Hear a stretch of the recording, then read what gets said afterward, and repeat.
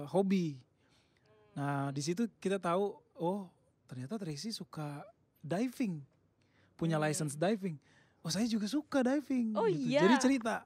Nah ngobrol lah beberapa hal tentang Mhm. traveling dan dan pekerjaan, nyambung ngobrolnya gitu.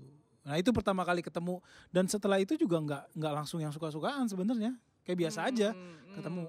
Cuman banyak sering ngobrol karena seru gitu ngobrolnya. Kesamaannya ada gitu Iya, ya. seru ngobrol karena banyak kesamaan gitu. Itulah Oh. pertama kali ketemu. Wow, jadi dari iseng-iseng main ke ibaratnya ke komsel Ke- temen iya, gitu ya. ke komselnya ke dia. komselnya temen, eh, temennya kakak dan ternyata Mm. ada dia. Iya. Eh, kucuk-kucuk ngobrolnya nyambung, Betul. muncul lama-lama gitu ya. Betul. Kalau di- Oh. Kalau di gereja kita namanya PDG, komselnya namanya PDG. Oh. Pembimbingan dalam grup. Gitu. Jadi kami datang. Jadi kita satu gereja hanya beda kota aja. Oh gitu. Iya kita yang uh, Oh. abang yang di Bekasi, dia yang di Jakarta gitu. Oh, I see. Gitu. Jadi main-main ceritanya ketemu gitu iya. ya. Jadi ternyata begitu ya teman-teman ya. Kadang belum tentu yang satu sama dalam komsel kita juga gitu atau di daerah kita ternyata dengan kucuk-kucuk main ya ketemu deh. Terus tadi juga ada cerita hobinya sama skydiving dan Eh, diving, bukan diving, skydiving. bukan diving. skydiving. Di laut ya. di laut. Kalau skydiving kan di iya di, langit. di udara ya. Iya. yang turun ke bawah. diving. Hobinya sama. Wow. Dan juga suka traveling berarti ya? Traveling suka. Nah kebetulan waktu itu eh, pas ketemu pertama dia juga mau ke traveling, dia mau traveling ke satu tempat yang Heeh. sebelumnya abang pergi. Heeh. Jadi abang bisa kasih tahu dia, oh sama ya mau ke sana ya. Ya ini perlu mampir ke sini nih, perlu gitu. Jadi seru lah ngobrolnya gitu. Oh. Suka traveling.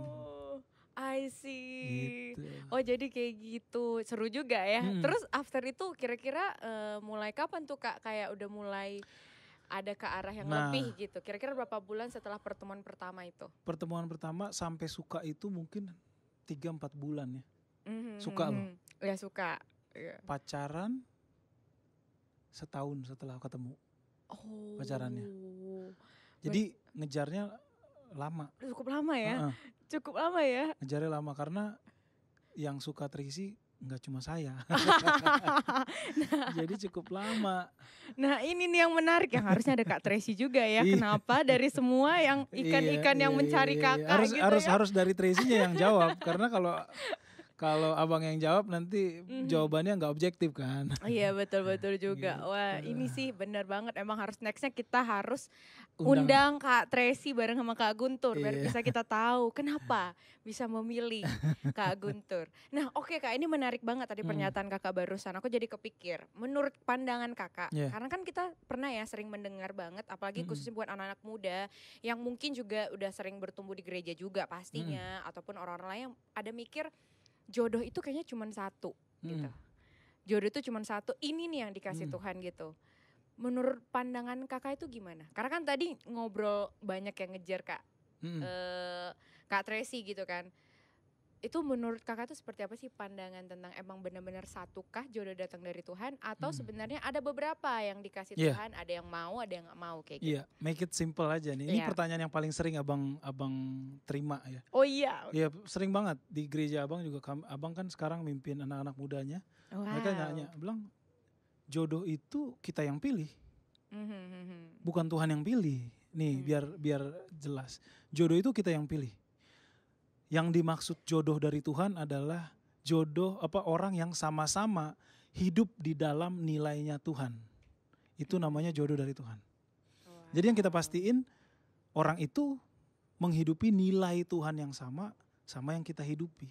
Hmm. Yang paling pertama kan kitanya dulu. Ya kamu mau perempuan mau laki, pastiin kamu hidup di dalam nilai-nilainya Tuhan. Hmm. Nah itu yang dibilang jodoh di tangan Tuhan. Hmm.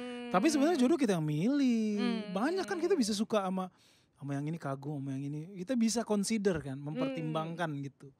Tapi pada akhirnya kita harus memilih satu. Hmm. Siapa yang benar-benar kamu yakin dia menghidupi nilai-nilainya Tuhan. Wah. Itu dasarnya banget. Hmm. Gitu. Wow, dan itu menjadi dasar ya teman-teman ya. Iya, karena ini tuh benar-benar isu yang kayak kakak tadi sering tanya. Karena aku juga sering mendengar pertanyaan ini gitu kak. Kayaknya harusnya cuma satu kalau dia yang udah gue suka ini nih, yang jodoh dari Tuhan loh. Gimana gitu. Itu, itu bohong tuh. Ngarang itu. Iya, tapi yang Iya. benar itu adalah yang menghidupi Nilainya nilai-nilainya Tuhan. Iya. Tuhan. Jadi pasti dari mereka kadang bahkan bisa ada di lingkungan kita cukup banyak sebenarnya kak. Iya. Bisa ada tinggal kakak yang kita yang ngelihat yang mana yang kita tertarik, Iya. karakteristik yang Betul, kita se- betul, senangin juga, betul. gitu yang sesuai dengan Betul. kitanya juga. Ya gitu. kalau orang bilang udah lu jangan milih-milih gitu. Itu Hmm, salah tuh. hmm. Jodoh harus milih.